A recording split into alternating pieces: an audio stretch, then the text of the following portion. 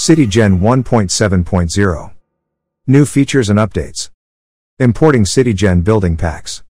Dramatic rendering speed improvement. And, introduction of Citigen Ultimate, featuring auto-generated people and city traffics. In order to use the latest Citigen add-on, please be sure to remove the previous version and install the latest one. Feature number 1. Now you can choose to turn on or off individual cloud layers, in order to dramatically reduce your rendering time.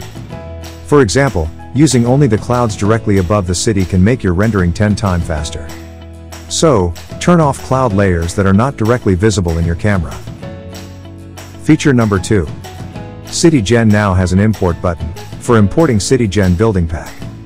Users can now import entirely new scenes, just by selecting a Citigen building pack made up of a single blend file.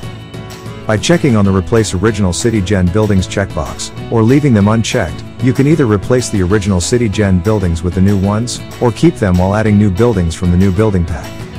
Try importing the low poly Citigen building pack included in the Citigen add-on package.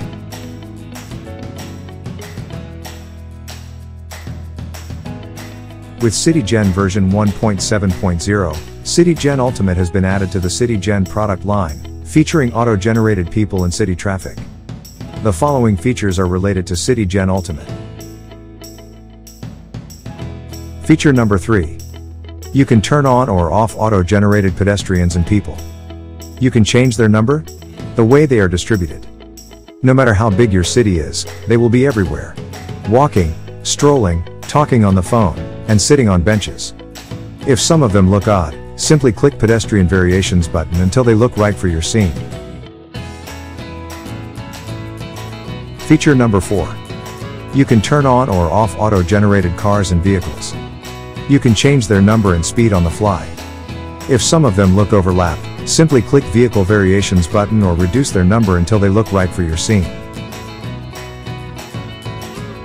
And please remember, the default Citigen crowds and traffic systems are meant for long distance shots. They are not designed for close-ups, at least, not yet. Integration to other existing detailed commercial human and vehicle props is likely coming.